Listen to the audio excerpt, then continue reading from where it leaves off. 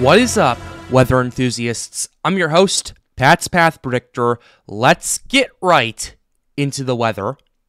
All right, so this is the situation we have right here, ladies and gentlemen. Today is the first day of hurricane season, and oh boy, how things have escalated. Over the last day or so, Invest 91L has organized at a very rapid pace, according to the National Hurricane Center.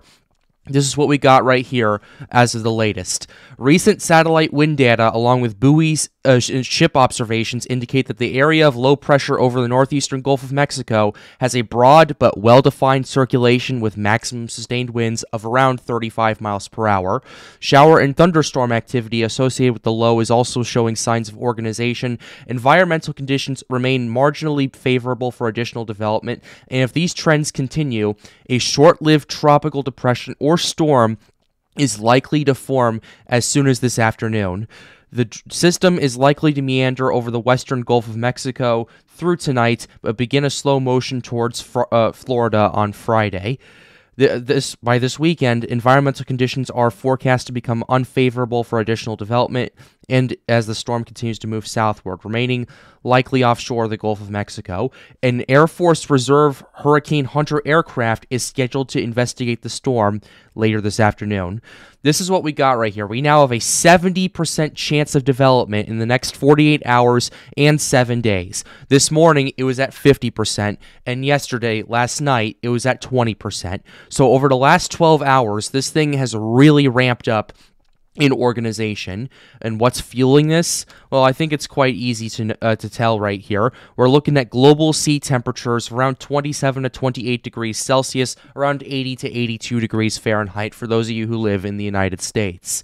So that's what we got fueling this thing. And if we take a look at the ocean heat content it's in around a general area of where it's around 2550 uh, ohc right there which isn't that uh, the uh, best right there, but it's definitely making the best out of it. What's really weak hampering this though is the wind shear. The wind shear, and honestly, I have to compliment the system. The wind shear around it's around 25 to 30 knots, but I'm still quite impressed with the fact that this thing is still developing as we're speaking right now, and it's even though it looks sheared like a sheep, as some people would put it, it's still organizing and it's showing quite a bit of life in this. So that's the situation we're looking at right here.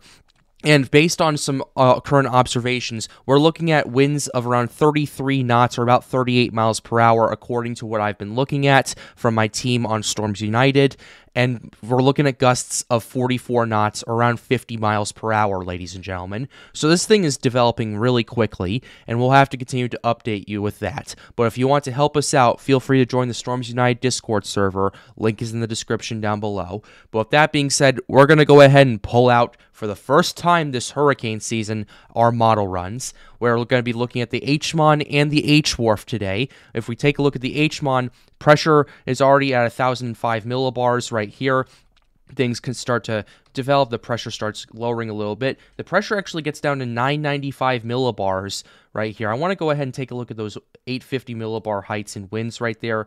See, as you can see, I don't, as you can see, it's around, I'd say 50, 50, uh, 55 knots or so at 850, which could translate to maybe around uh, 50, 50 miles per hour, maybe 55 miles per hour on the surface right there from 850, uh, from 850 because that's about 5,000 feet up.